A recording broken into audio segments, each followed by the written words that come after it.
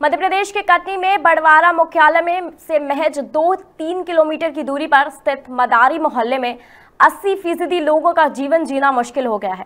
आपको बता दें, इन लोगों का प्रमुख व्यवसाय मदारी का खेल दिखाकर पैसा कमाना था, मगर वन विभाग के दबाव के कारण इन्होंने अब ये खेल दिखाना बंद कर दिया है, जिस वजह से इनकी आर्थिक स्थिति खराब हो गई है। अब ये लोग सड़कों पर लोगों से पैसे मांगने पर मजबूर हो गए हैं। वहीं इस मामले को लेकर बड़वारा जनपद मुख्य कार्यपाल अधिकारी के के पांडे का कहना है कि इस आबादी को मुख्य धारा से जोड़ने के लिए निरंतर प्रयास किए जा रहे हैं, और जल्द ही मदारी टोला में रहने वाले परिवारों को मुख्य समाज से जोड़ा जाएगा। कटनी से जाहिद हुसैन सिद्दीकी की रिपोर्ट।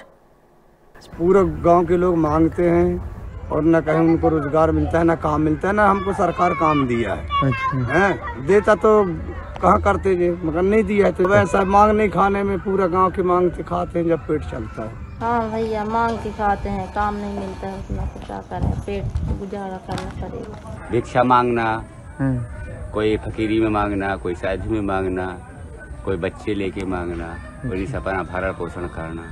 इधर करीब वोटर है 400 कुछ वोटर है इधर। अच्छा।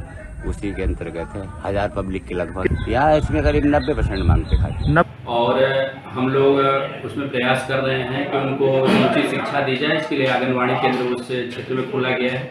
और एक प्राथमिक शाला भी वहाँ पर खोली गई है। और हम लोग उनको प्रोत्साहित करेंगे, प्रेरित करेंगे कि वो भिक्षावृत्ति छोड़ दें और समाज की मुख्यधारा में